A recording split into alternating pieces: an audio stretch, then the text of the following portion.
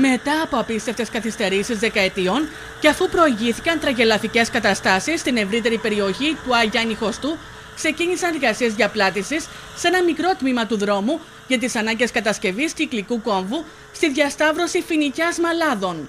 Ξεκίνησαν σήμερα το πρωί εργασίες όπου θα ασφαλτοστρωθεί ένα τμήμα του οδικού άξονα στην περιοχή του Άγιάννη του Χωστού όπως γνωρίζετε πριν ε, περίπου δύο εβδομάδες είχαν ε, γίνει κάποιες εργασίες όπου στο Πρανές, στην ε, νότια πλευρά του οδικού άξονα, θα ασφαλτοστρώσουμε το σημείο αυτό, καθώς επίσης και άλλες αστοχίες που παρατηρούνται κατά μήκος αυτού του δρόμου.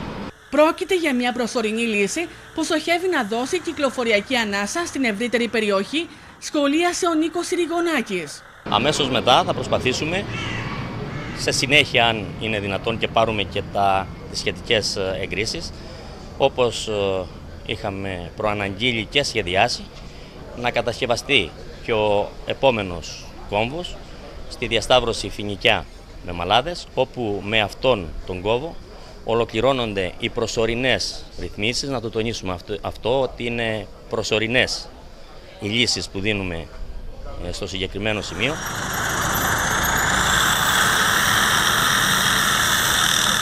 Εν τω μεταξύ, προβληματισμό και ανησυχία προκαλούν στους πολίτες οι εικόνες με τις ρίζες τεράστιων ευκαλύπτων που προεξέχουν από το χώμα, με το συνεργείο να προχωρά στην κοπή τους και τις ανάγκες του έργου. Τα δέντρα θα πέσουν. Θα σκοτώσουν κανέναν άνθρωπο πάλι. Δείτε το παρακάτω, σας παρακαλώ. Βέβαια, είναι μεγάλο πρόβλημα τις ρίζες που έχουν κόψει.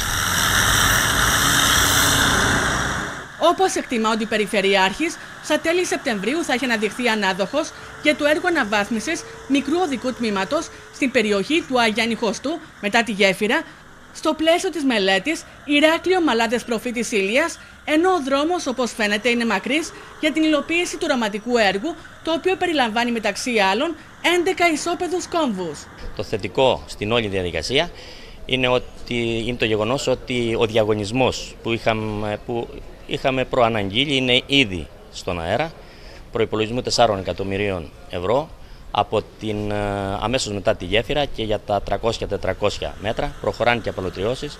Ευελπιστούμε σε σύντομο χρονικό διάστημα να δοθεί μια οριστική λύση. Ευελπιστούμε ε, τέλος Σεπτέμβρη ε, με το άνοιγμα των προσφορών να έχουμε και ανάδοχο και να ξεκινήσουν διαδικασίες.